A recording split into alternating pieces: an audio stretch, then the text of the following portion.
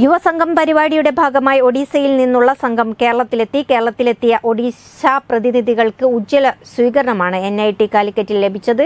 പരിപാടിയുടെ ഭാഗമായുള്ള സാംസ്കാരിക സായാഹ്നം കോഴിക്കോട് മേയർ ഡോക്ടർ ബീന ഫിലിപ്പ് ഉദ്ഘാടനം ചെയ്തു.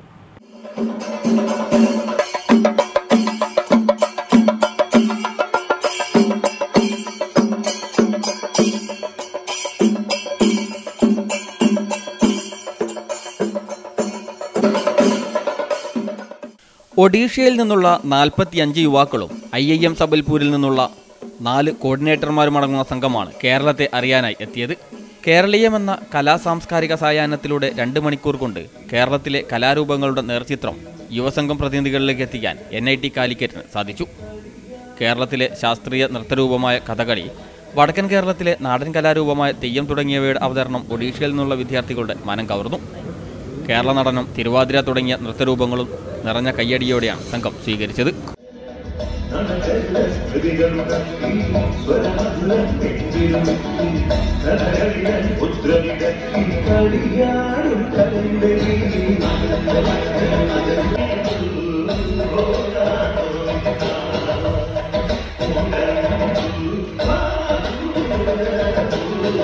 പഞ്ചവാദ്യത്തെക്കുറിച്ചും മറ്റ് കലാരൂപങ്ങളെക്കുറിച്ചും N I T Kozhikode director professor Prasad കൃഷ്ണയുടെ വിവരണം ഉപകരണങ്ങളുടെയും കലാരൂപങ്ങളുടെയും സാംസ്കാരിക പ്രാധാന്യം മനസ്സിലാക്കാൻ പ്രതിനിധികളെ സഹായിച്ചു.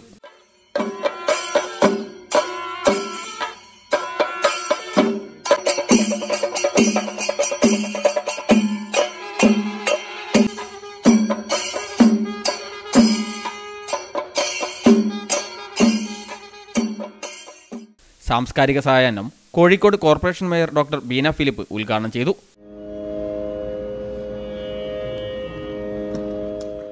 N I T C director professor Prasad Krishna N I T C registrar doctor Shyamasundara students welfare വിഭാഗം ഡീൻ പ്രൊഫസർ രജനീകാന്ത് പരിപാടിയുടെ nodal officer doctor P M Ranjith Ek Bharat Shreshtha Bharat officer doctor Sudev Das അധ്യാപകർ അനധ്യാപകർ എന്നിവർ പരിപാടിയിൽ പങ്കെടുത്തു.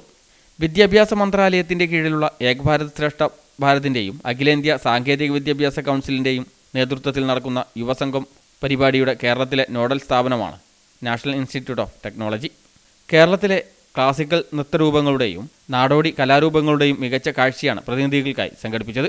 പഞ്ചവാദ്യത്തിന്റെയും വാദ്യമേളങ്ങളുടെയും അകമ്പടിയോടെയാണ് പ്രതിനിധികളെ ഉദ്ഘാടന വേദിയിലേക്ക് സ്വീകരിച്ചത്.